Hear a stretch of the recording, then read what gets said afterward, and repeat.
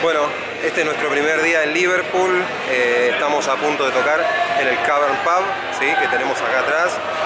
Así que en un ratito vamos a estar eh, roqueando un poco con cereal en el Cavern. ¿sí? Aquí están mis compañeros de.